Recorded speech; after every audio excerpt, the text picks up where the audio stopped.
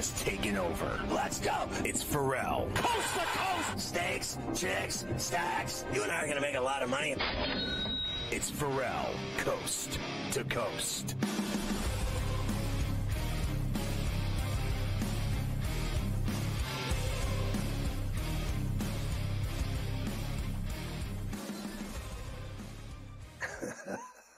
it's amazing, Carver High. Look at the difference. oh, the humanity. I think that it's it's happened. Something's happening in a positive manner here today, Carver High. So we're getting involved here at the last minute. Seems like it. Uh, things are turning around for you. There's no question about that. Uh, in, a, in, a, rapid way, that's for sure. You called me an uh, Oompa as... Loompa before, which was very degrading. Uh, it was very degrading indeed. Uh, as we start the second hour here uh, of C to C, I have a couple more things left for you. when it comes to the basketball, and Scheffler just parred that hole, so minus eight still for Scotty Scheffler. Uh, Aberg's now four behind him. He's playing with him out there. I, can some of these guys make a run and get within one or two shots of him before the end of the day? Please uh, make it a little interesting for us this weekend out at Jack's tournament. Uh, let's I finish put last a night. jinx on him. I hate him. I wish ill will on him, and that he shank shankopotamuses this drive right into the woods. Yeah, let's hope so. Uh, that from your lips to God's ears. Uh, last thing for tonight, and then I want to give you the numbers for Game Two on Sunday. Uh, here's Luka. I told you earlier he didn't really have much to say. Uh, you got asked a couple of questions in the post game. The answers were pretty short. I don't remember. Uh, just you lose or you win. Uh, first to four, uh, we got to focus on the next game. Does, does, that give you guys confidence, though? Of course. You, know, you want me to say we have no confidence? I just want to hear you say it. You know, it's good for our stories. Of course.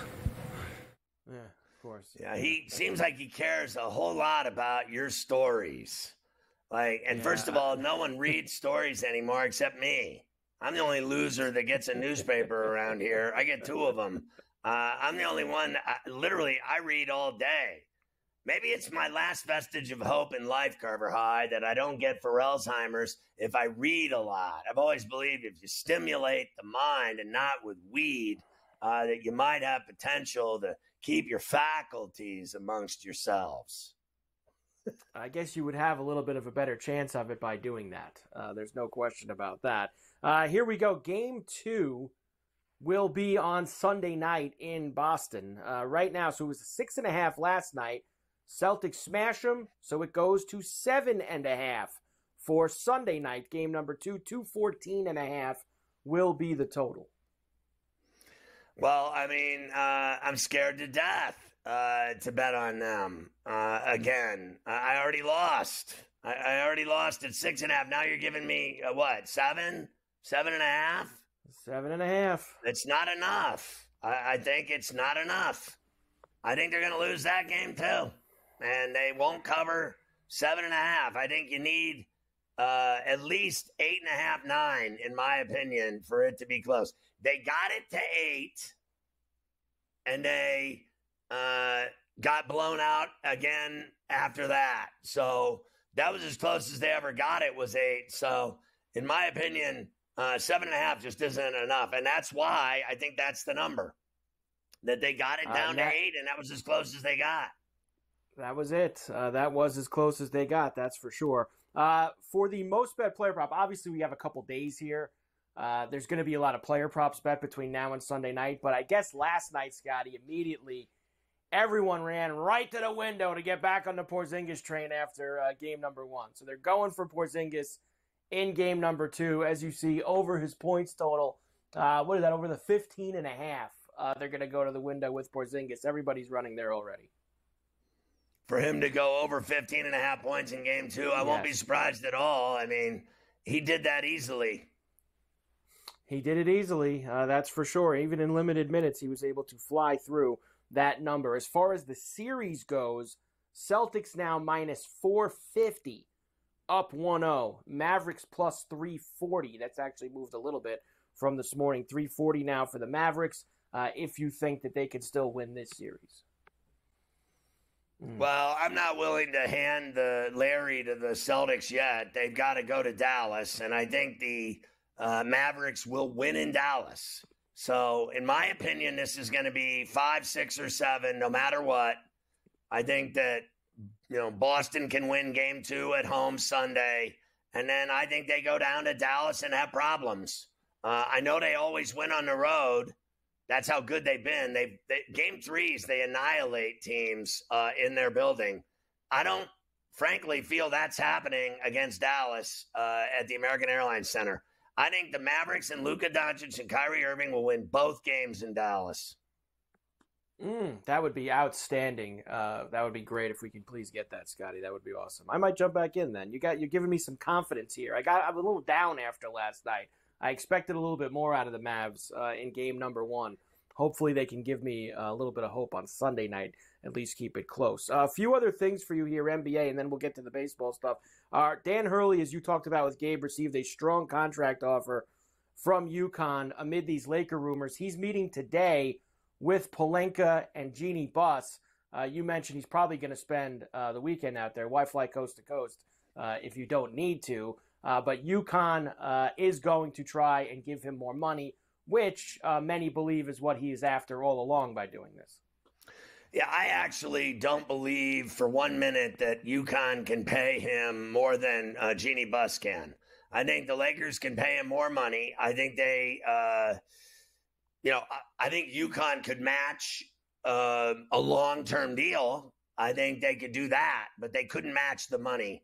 And this is, to me, about, frankly, it's about Jeanie's ability to close the deal I think that her father would have closed. And I mean that with all due respect. Like, I like Jeanie, I respect her. I think she's been a phenomenal businesswoman and she's great at what she does.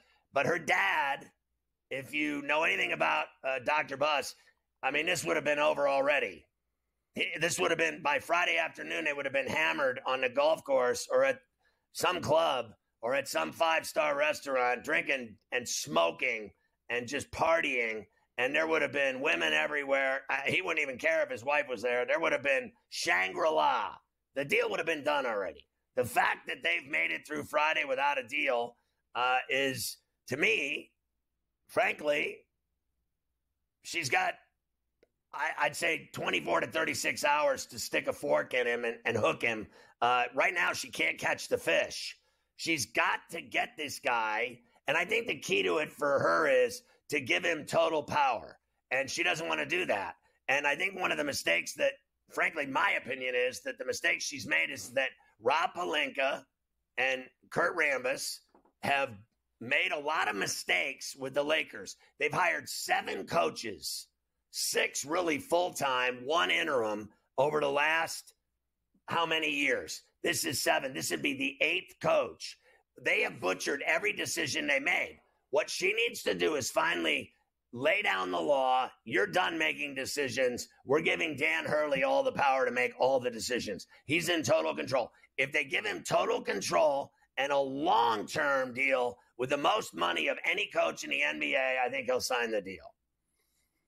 Uh, very possible indeed. And we'll see if there's anything else with that over the weekend or within the next couple of hours. Uh, a couple of other things. TNT is negotiating for a fourth NBA TV rights package. So there was the three that was going to come out. TNT had lost theirs, it looks like, that they're going to to NBC.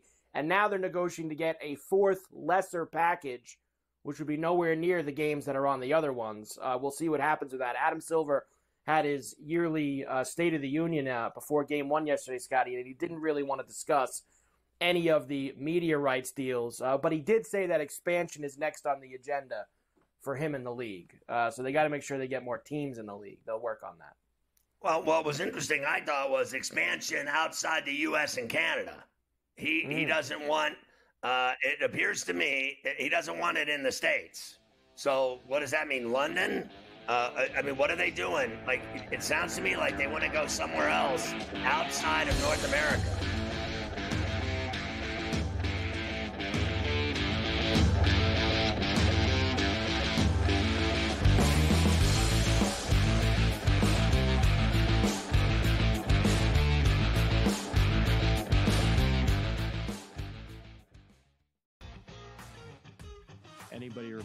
Famous chip in that Tiger Woods hit at 14, long and left after he tried to go for the full flop, leaves it short, then chips in for par, goes on and wins.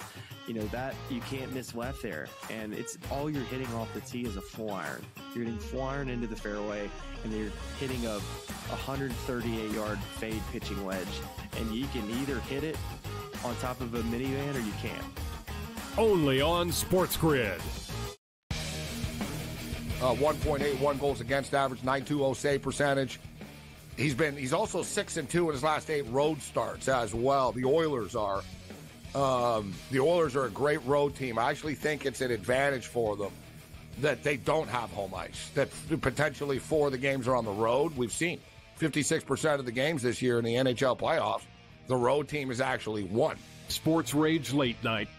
Only on Sports Grid. You're going a little deep bomb hunting here. We don't care that we have the one heavy favorite with Rory, a couple other guys like Fleetwood and Theegala, etc. You're going to go a little deeper down the board. This course, I think, is going to play a little bit more to the wedges. They have um, what they did is they've renovated it to basically block off some of the the bombing alleys for these guys. They've narrowed the fairways. Ferrall Coast to Coast, only on Sports Grid. Gerrit Cole is getting ready to come back too. I, I guess this. uh, Look, they've played great without him, but you're not going to say to Gerrit Cole, "Look, don't come back." I mean, it's a ridiculous conversation to have. They're not going to take any unnecessary chances. And look, they're at the point where they, they have a lead. They certainly are going to make the playoffs, I would say, barring some sort of complete collapse. And that's all it takes. Newswire, only on Sports Grid.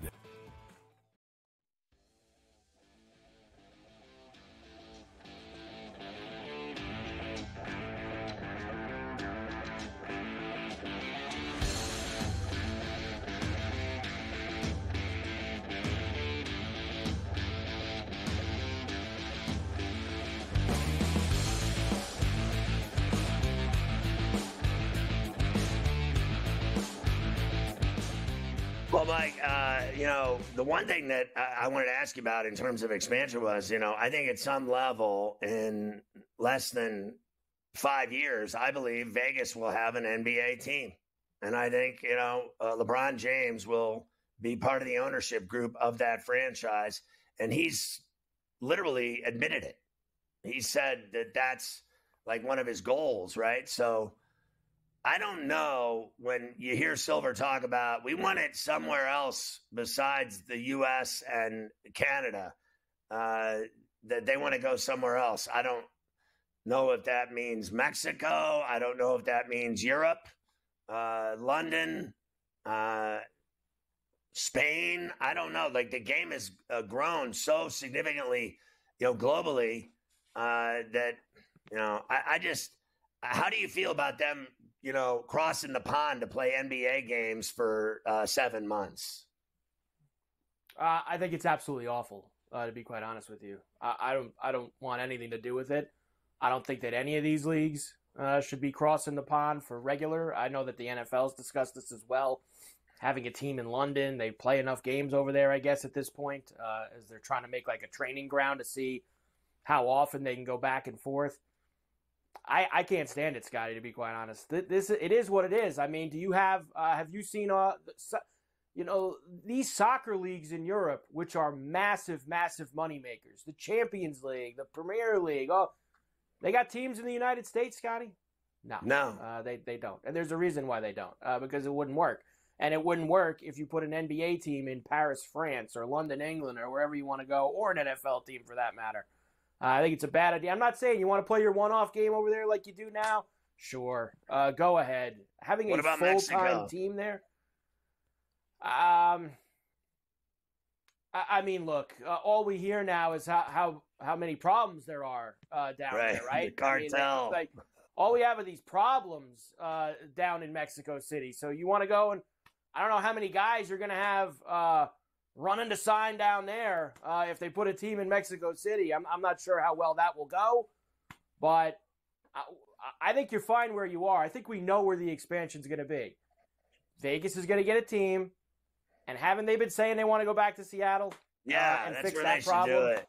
Screw So, I everybody mean, let- else.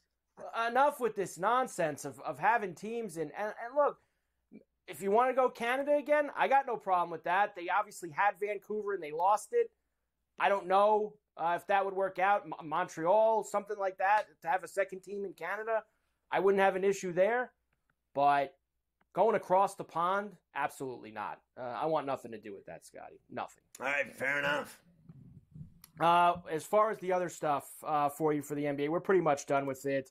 Uh, Bloomberg's going to join A Rod and Michael. Lloyd. Who cares? They're not. They're never going to get the other guy out anyway.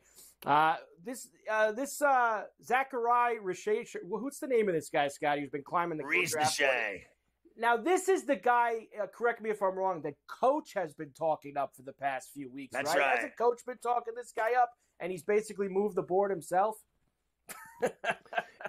in not so many words, yes, that's the Yeah. that's the player that coach is selling as the best uh, choice for number one for the Atlanta Hawks, and you cannot get an agreement uh, yet from anyone in, in the league. There's so many uh, split down the middle as to whether it's Sarr or Risacher uh, going uh, number one.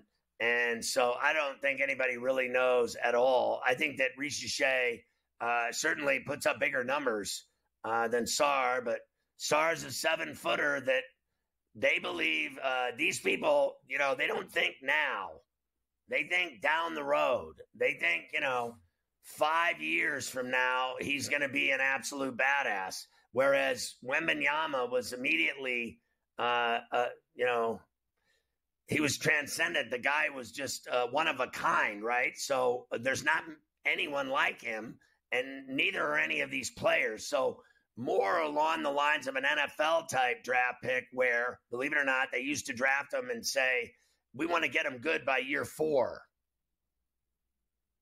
Yeah, uh, and now it's a it's a whole different ball game, especially when you have a draft like this where uh, you don't have uh, a Wembanyama, uh, you don't have uh, Zion, somebody that uh, everybody's falling over to go ahead and try and be the one to take over. And finally, uh, Caitlin Clark's arrival to the WNBA has sparked massive WNBA betting growth, massive betting growth, kind of like everything else, kind of like how it sparked uh, massive ticket sales massive uh, television ratings, uh, massive actually people uh, paying attention. Kind of the same way, it's also sparked massive betting growth. What a correlation, Scotty.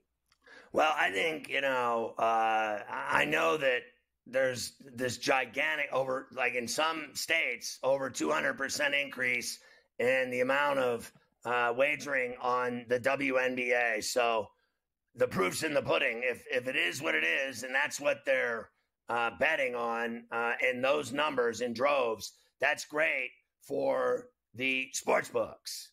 Uh, I don't see how that benefits uh, women's basketball at all, uh, frankly, or the NBA. That uh, tons of people are betting on it. We've already seen betting scandals in the NBA, and I'm sure that betting scandals will follow in the WNBA.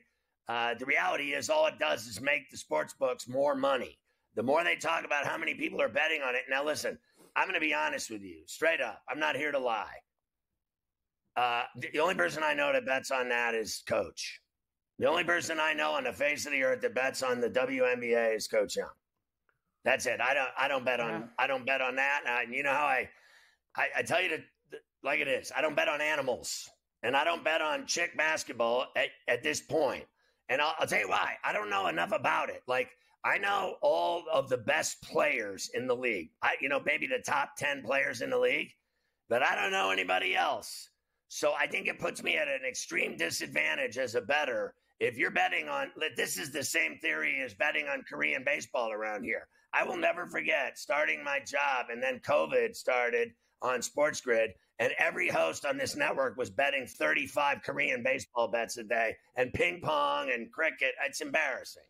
I'm sorry, I don't, I don't bet on things I don't know about. So you can take that all the way to the bank any way you want.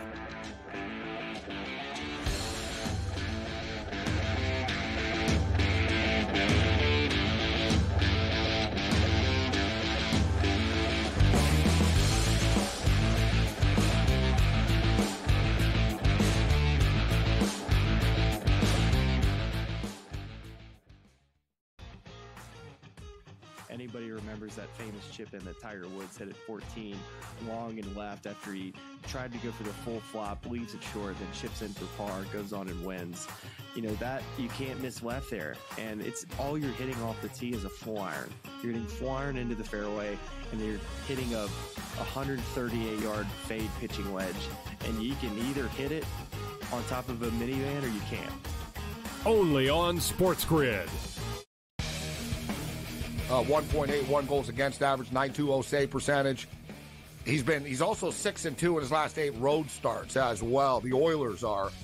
Um, the Oilers are a great road team. I actually think it's an advantage for them that they don't have home ice. That potentially four of the games are on the road. We've seen 56% of the games this year in the NHL playoffs.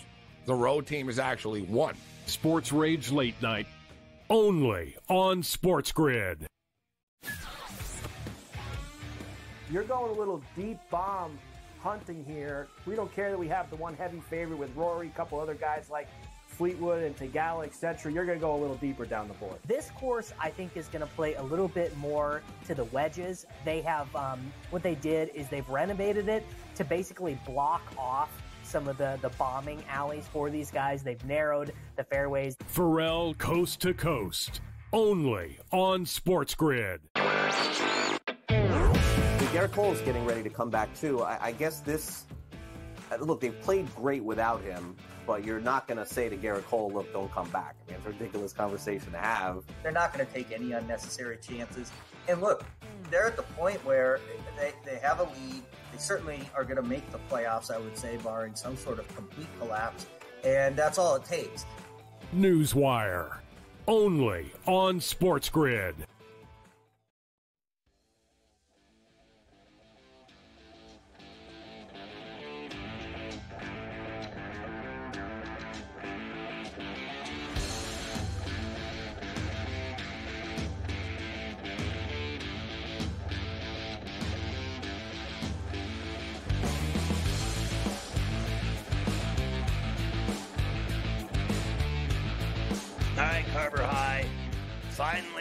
Time to talk some baseball, and it doesn't get any better than uh, this weekend in the Bronx. Uh, it does not get better than this weekend in the Bronx, as you will have the Yankees and the Dodgers getting together in the Boogie Down for a Let's big go. three-game series, uh, all night go. games, prime time, national television. Everyone's excited.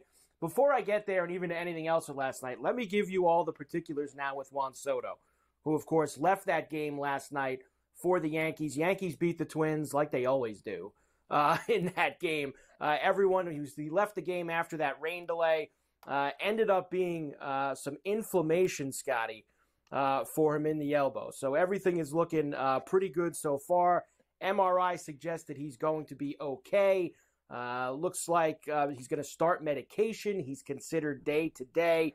Boone said there were some anxious moments a couple minutes ago. They do not expect Soto to have an IL stint. In fact, Scotty Boone said it's possible that Soto will be available off the bench as a pinch hitter tonight. So he's not going to be in the starting lineup, but it's possible that he could even swing the bat if needed late in the game. So that, considering how most Yankee fans uh, were not feeling so good last night, that is some size for relief for them this afternoon. Can we get like the diesel to send him over some icy hot or something and just rub it on Yeah. there and then get out there and hit a home run into the short porch? What is the problem? Uh, yes, I think that that's probably something uh, that we would like to have seen. Uh, but inflammation with the forearm, uh, as we should say, uh, everything is good to go. Uh, the diesel does have a lot of icy hot, and I'm sure that he would be able to help him with that. Here's the one thing that that worries me. Uh, Now, look, everybody's all smiles. Uh, Boone's laughing and going. I'm not even going to play the Boone from last night because Boone last night was more of the the typical like I don't know uh, doom and gloom Right. but as great as this is, let's remember something. Last year, they let Anthony Rizzo play for a month and a half with a concussion before they figured it out. Last year, it took him a month to figure out uh, Judge with the toe uh, when he rammed into that wall against the Dodgers at Dodger Stadium. They haven't been very good at this stuff. I'm glad all their imaging and their MRIs and all their stuff tell them that everything's good. And God, Scotty, I'm knocking on wood right here while I'm talking to you. I hope that's the case. but it's hard for me to believe them because they've been wrong a lot lately. So let's just hope that everything's good. Yeah, you know, it's a lot like uh, I played today, and I've had like uh, I told you, I've I've got like a torn, uh, a little tear for sure in my rotator. I've had both of my rotators operated on and labrums, and I have uh, I think a new tear and a and a problem there. And so today I'm playing against this guy, and he's like a hundred mile an hour guard. This guy is so fast. He just scored five times while I mentioned his name. And all I know is he was running up the side, and the, the it's a box gym. There's only padding on the wall. There's no there's nowhere outside out of bounds. It's a wall with padding on it. And he started he stole the ball and started up the sideline hauling ass, and he was going to go right around me and score, and I was having none of it, and I just did a full on, uh, you know, Nystrom into the wall. I gave him the full shoulder and it tore my shoulder off and I felt it just tear. And uh, you can tell when you got a problem the elbow, the shoulder tear, you know it's going to be a problem for you. And now we got to see if Soto, uh, if his numbers start dropping off over the next few weeks, because then you'll know he's got something wrong with him. Hopefully the medication works, uh, and they will be good to go after that. I always Uh, recommend give eating you- pills. Uh, well, uh, there you go. Uh, I don't think he can do that. He's going to go and potentially pinch it tonight, but uh, we'll see how that goes for him. The left forearm discomfort looking good. Uh, Yankees did beat the Twins eight five. Torres had a big two run double. They uh, they took care of business. They beat the Twins every game this year, like they always do. Dodgers beat the Pirates eleven to seven last night. Uh, so Fail. the Buccos were going for the sweep, Scotty. Unfortunately, they were not able to finish that off. Although I have to bring this up, I know they lost. That home run that Oneil Cruz hit, that cruise missile, 462 feet into the Allegheny. Whoa, that was Yeah. a lookout uh, right there. I know it was garbage time, but that was a lookout from Cruz. He he's feast or famine. He strikes out a lot, but when he gets a hold of one, uh, and you know, same thing when he throws the ball at short over to first, he, he really throws it. And when he hits, uh, the ball jumps off of his bat, but he strikes out a lot. But I still like him. Uh, I will give you all of tonight's information later on in Coast to Coast for the games this evening in Major League Baseball.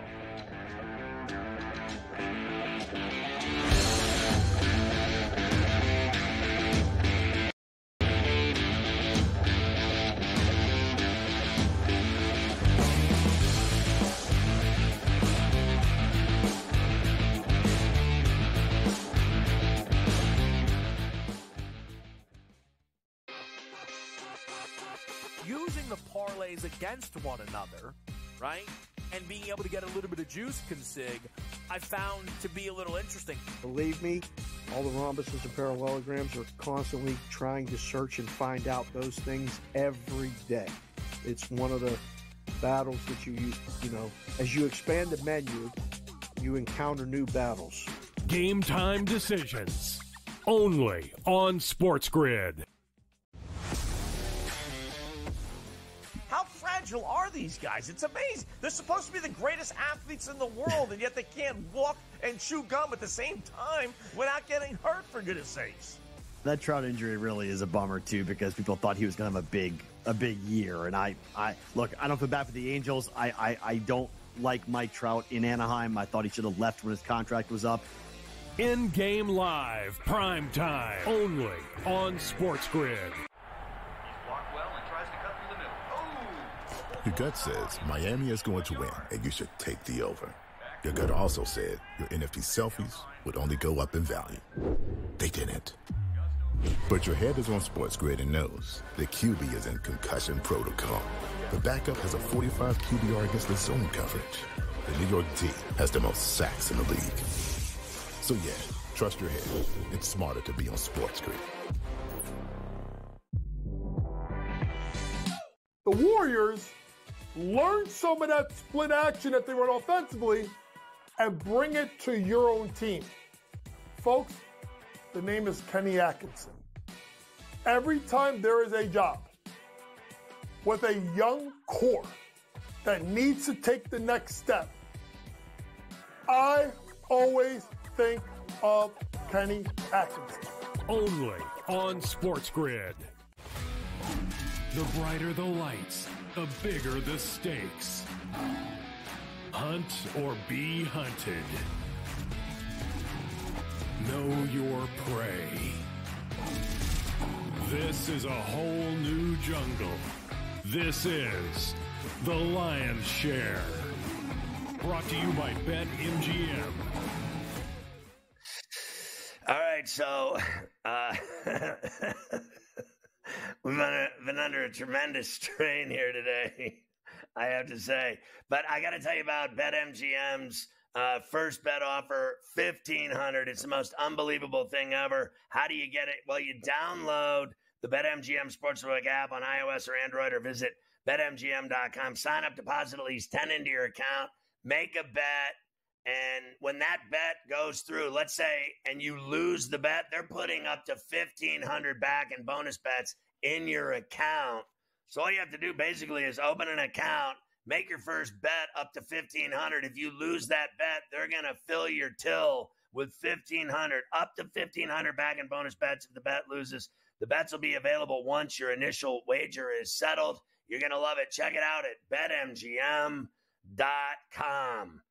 Coach James Young joins us every day on Coast to Coast to do the lion's share.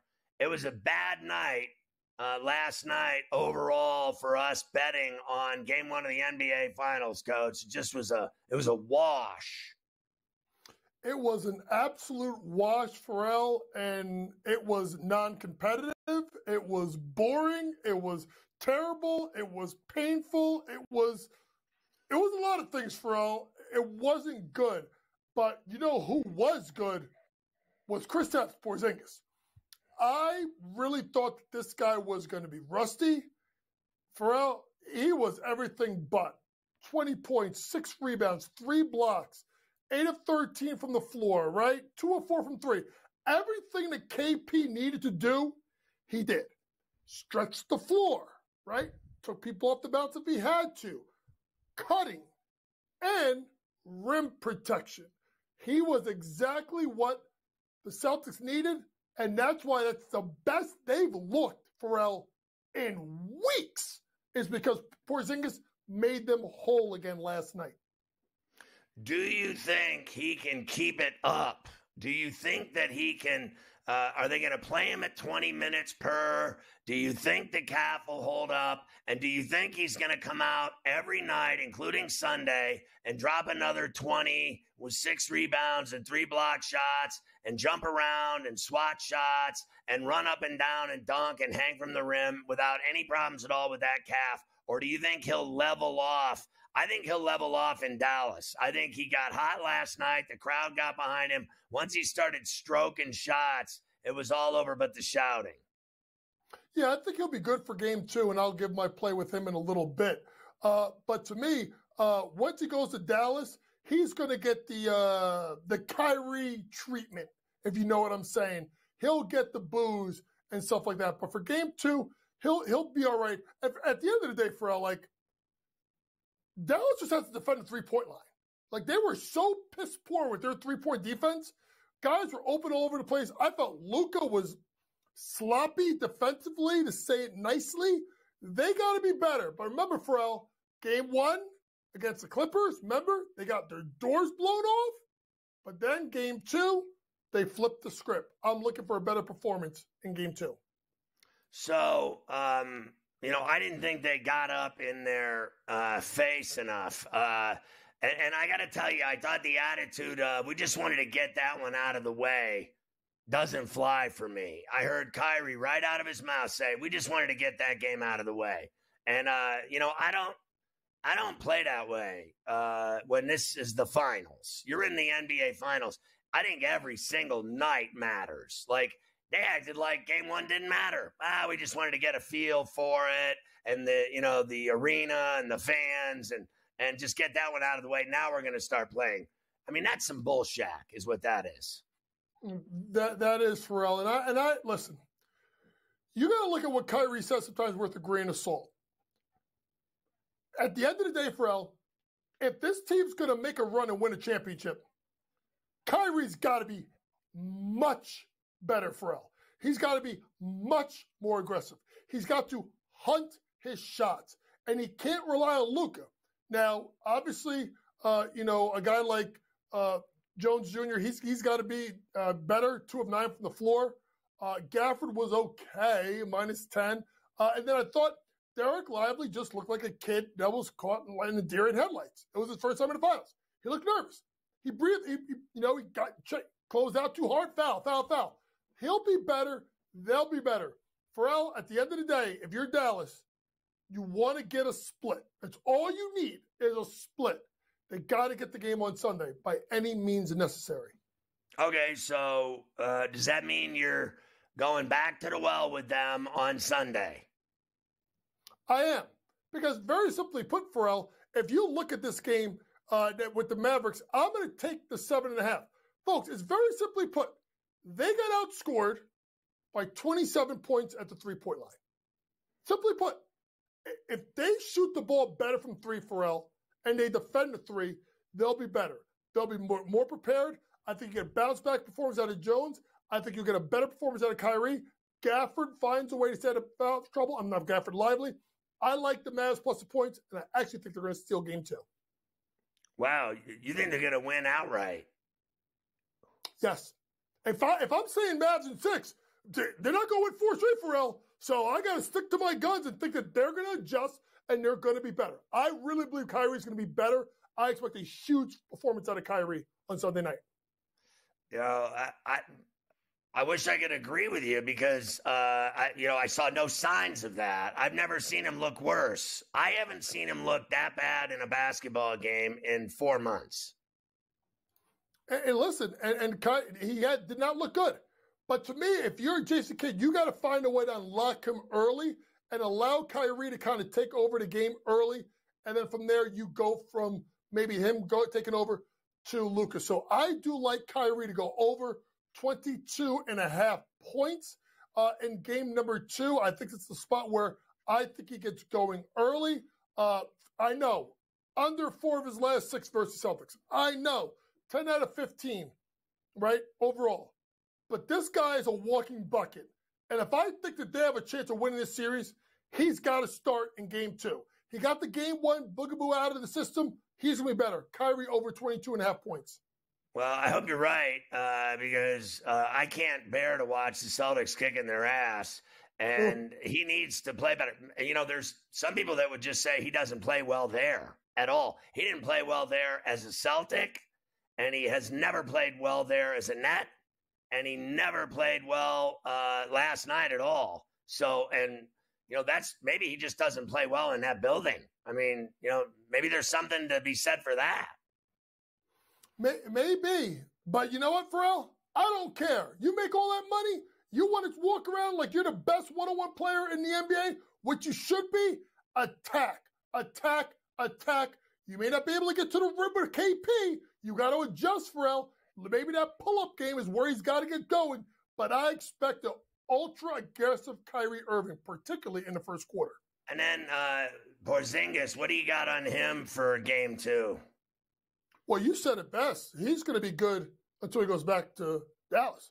So I'm going to go with KP over his PRA of 23 and a half points, 26 in his last game, obviously. And if you look at Porzingis, you know, it's not a large sample size because of his injuries, but the last, he's covered this the last four times that he's played against Dallas, including every time getting 20 points. He's going to score. It's about the rebounds and assists. He gets just enough to get there.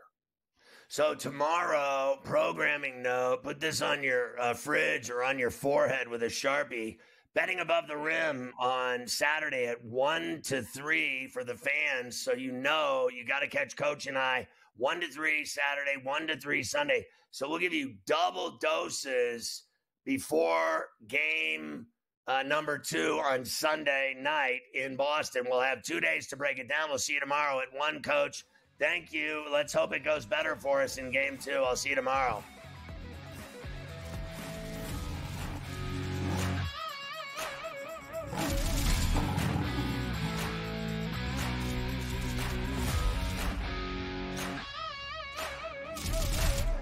The Lion's Share, presented by BetMGM.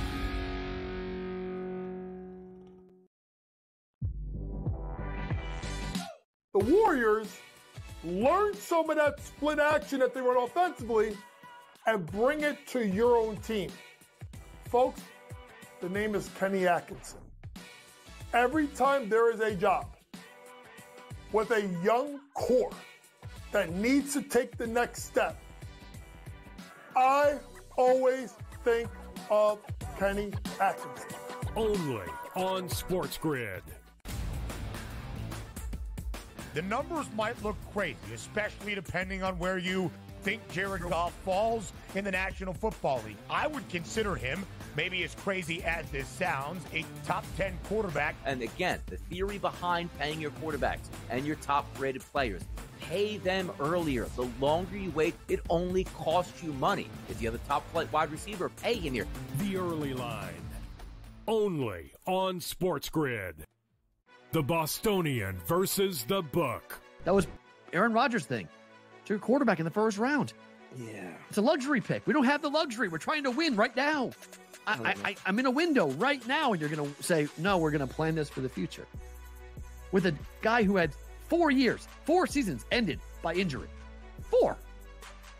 like, Michael Penix is a walking injury. Like, what are you doing taking him in the top 10? The Bostonian versus the Book. Using the parlays against one another, right? And being able to get a little bit of juice consig, I found to be a little interesting. Believe me, all the rhombuses and parallelograms are constantly trying to search and find out those things every day. It's one of the battles that you use, you know, as you expand the menu, you encounter new battles. Game time decisions. Only on Sports Grid.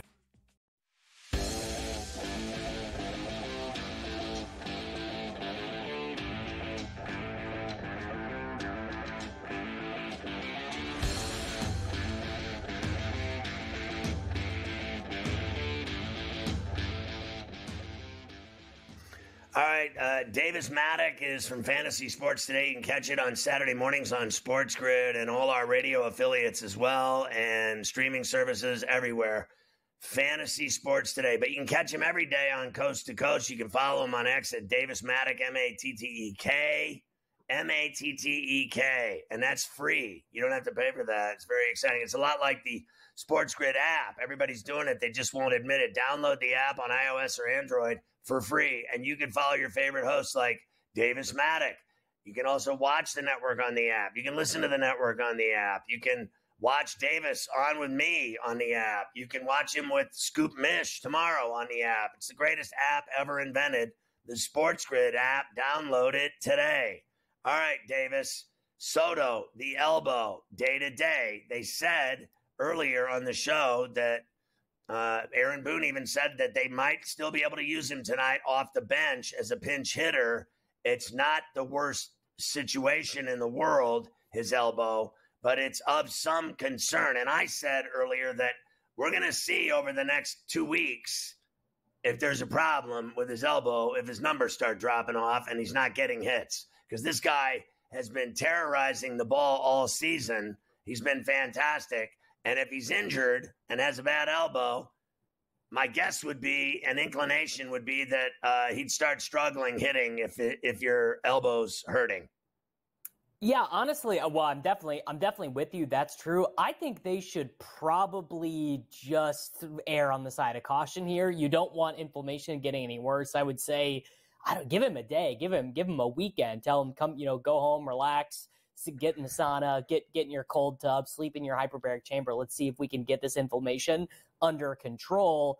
You know, I, I don't know, you know, maybe have an MRI on it or or whatever, because they can have Trent Grisham play instead. They can bump Verdugo up in the lineup. I mean, look, if they really wanted to get crazy, they could have Stanton play in one of the corner spots. If they really, want, I mean, I don't think they would, but they, They definitely, could. they definitely, they could. I, I don't think they would because Stanton is playing well enough right now that you really don't want to risk him, you know, uh, getting injured in the outfield. But it would be interesting if they did, if they decided this Dodger series was so important and they wanted to have their absolute best bats in the lineup. They that would be the way to do it. Would be to have Stanton play in the field, so you're not having to play, you know, let's one of their one of their not as strong hitters. But I, I mean, it sounds like he'll probably be okay. If I, if I was managing the situation, given how far they are ahead in that division, I'd probably have him sit this weekend, though.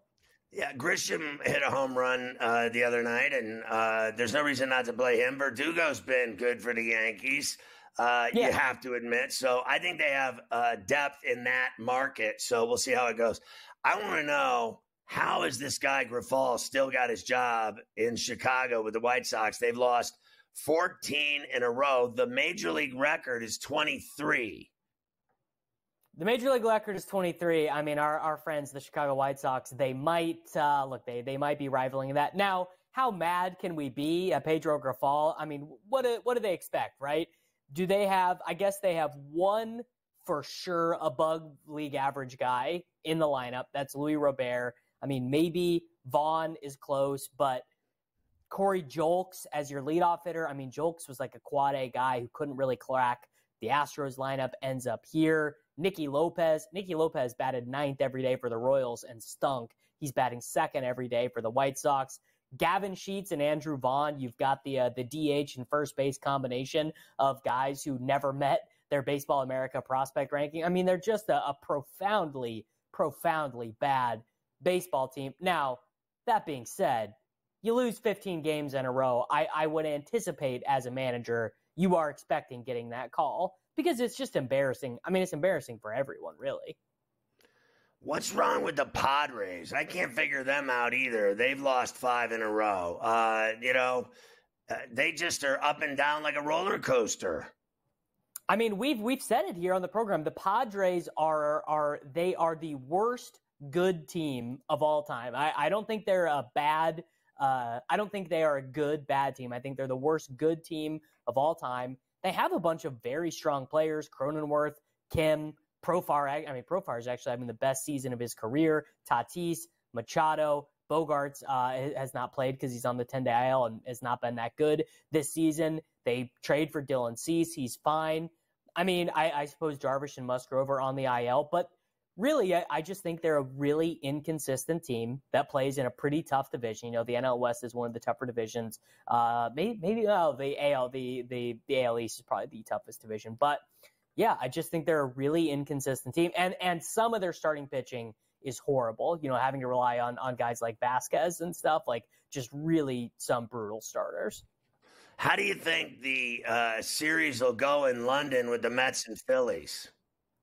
I think, uh, I mean, look, I think that'll go pretty straightforward. I think we're going to see the Phillies kick some absolute butt. I, I know uh, our friends here at the network, a lot of them are Mets fans, and that's not the answer that they want to hear. But the the Phillies are just, I mean, they are an absolute machine. They are they are so unbelievably uh, the best team in the NL East. So let's take a look at uh, your plays for uh, tonight. What you're going with? I see your. Uh, we'll start with the Royals, but then I know you got action on the uh, game in the Bronx.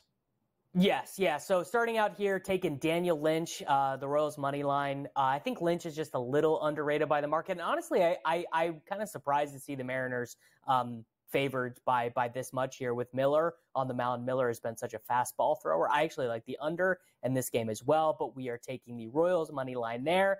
And, uh, you know, sorry to the Yankees fans. I am in game one here, going to be taking the Dodgers with Yamamoto on the mound. You should be able to get that right about uh, minus 120, minus 130 there on, on BetMGM. I, I think the Dodgers are pretty strong here. No Soto. We've got, uh, you know, one of the weaker uh, starter, uh, the long reliever spots here for the Yankees. I, I think the Dodgers get it done in the Bronx. Screw you, Davis, trying to do that to me on a Friday, going against our Bombers. Carver High is not having any of this. And then you've got a WNBA play rolling. Yeah, real quick, we've got two of the worst teams in the league. I suppose that's a little unfair to the Wings, but we are taking, uh, we are going to be taking the Sparks at home here. Uh, we've got them, uh, we've got them plus three and a half, taking them at home, looking for a big Cameron Brink rebound game. Also, three blocks per game. She's been awesome. Backstabber, Mattek. Go ahead. Have a miserable weekend. You and yours. I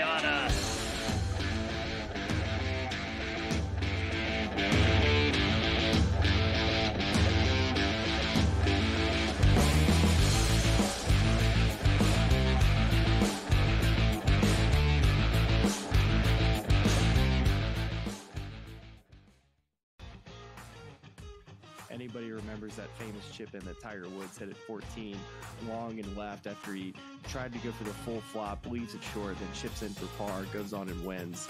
You know, that you can't miss left there. And it's all you're hitting off the tee is a full iron. You're hitting full iron into the fairway, and you're hitting a 138 yard fade pitching wedge. And you can either hit it on top of a minivan or you can't. Only on Sports Grid. Uh, 1.81 goals against average, 920 save percentage. He's been he's also six and two in his last eight road starts as well. The Oilers are um, the Oilers are a great road team. I actually think it's an advantage for them that they don't have home ice. That potentially four of the games are on the road. We've seen 56% of the games this year in the NHL playoffs. The road team has actually won. Sports Rage Late Night. Only on Sports Grid. You're going a little deep bomb hunting here. We don't care that we have the one heavy favorite with Rory, a couple other guys like Fleetwood and Theegala, etc. You're going to go a little deeper down the board. This course, I think, is going to play a little bit more to the wedges. They have um, what they did is they've renovated it to basically block off some of the the bombing alleys for these guys. They've narrowed the fairways. Ferrall Coast to Coast.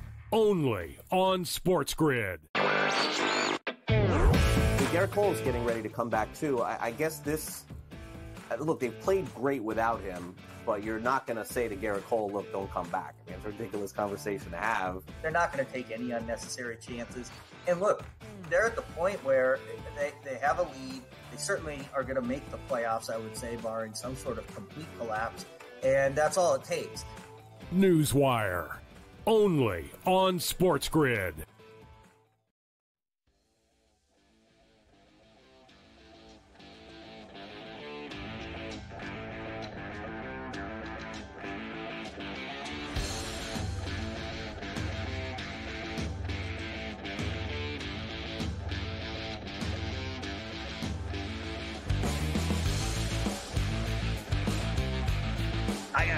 Idea. Let's hook up with my guy that talks college football better than anybody, Rich Cirminiello. Hey, Scott, last week we talked about the offensive stars, the young guys who are ready to take over offenses in college football. This weekend, let's talk about the young stars who want to stop them. Defensive, budding superstars in college football.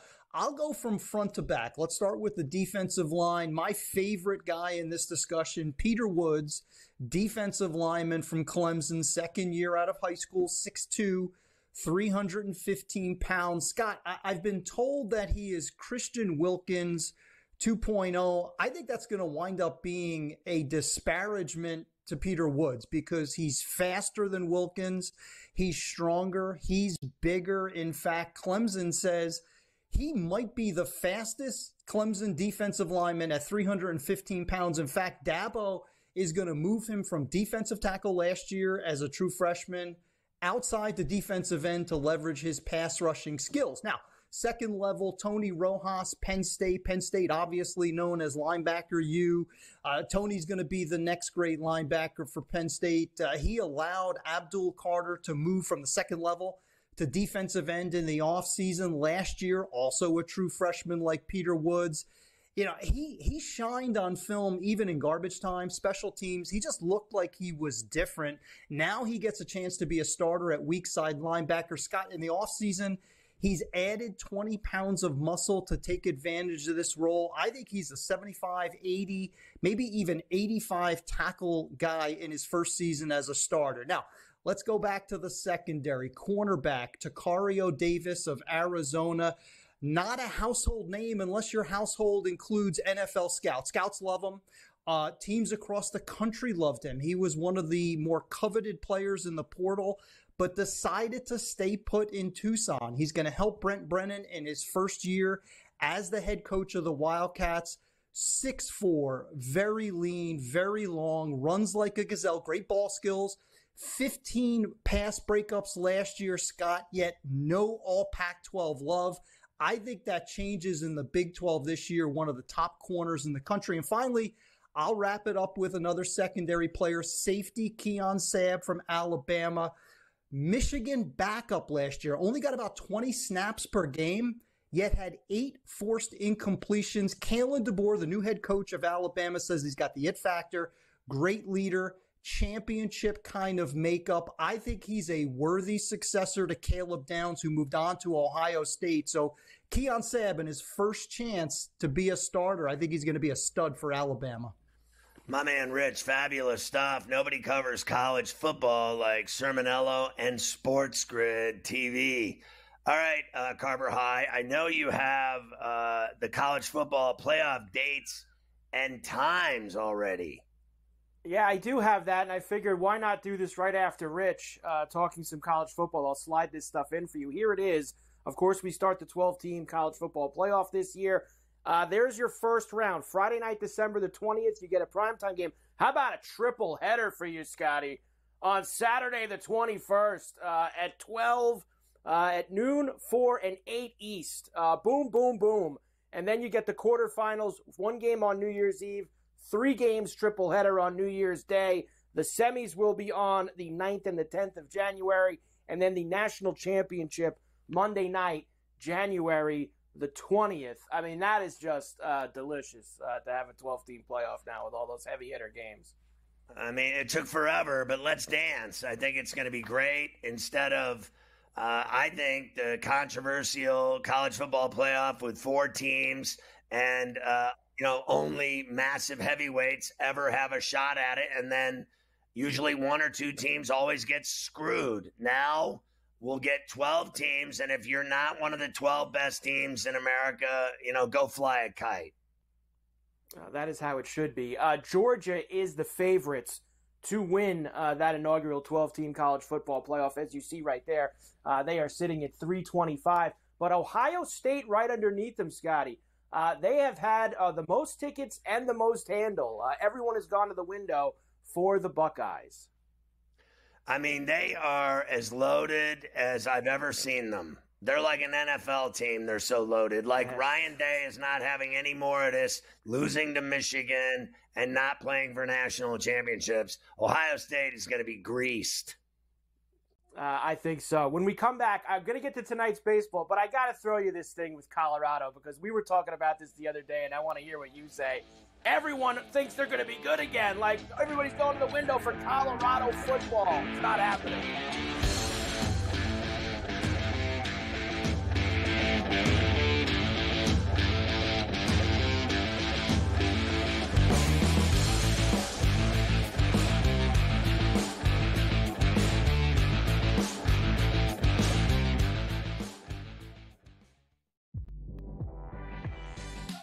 Warriors learn some of that split action that they run offensively and bring it to your own team. Folks, the name is Kenny Atkinson. Every time there is a job with a young core that needs to take the next step, I always think of Kenny Atkinson. Only on Sports Grid. The numbers might look crazy, especially depending on where you think Jared Goff falls in the National Football League. I would consider him, maybe as crazy as this sounds, a top 10 quarterback. And again, the theory behind paying your quarterbacks and your top rated players. Pay them earlier. The longer you wait, it only costs you money. If you have a top flight wide receiver, pay him here. The early line. Only on Sports Grid. The Bostonian versus the Book. That was Aaron Rodgers' thing. It's your quarterback in the first round. Yeah. It's a luxury pick. We don't have the luxury. We're trying to win right now. I, I, I, I'm in a window right now, and you're going to say, no, we're going to plan this for the future. With a guy who had four years, four seasons ended by injury. Four. like, Michael Penix is a walking injury. Like, what are you doing taking him in the top 10? The Bostonian versus the Book. Using the parlays against one another, right? And being able to get a little bit of juice consig, I found to be a little interesting. Believe me, all the rhombuses and parallelograms are constantly trying to search and find out those things every day. It's one of the battles that you use, you know, as you expand the menu, you encounter new battles. Game time decisions. Only on Sports Grid.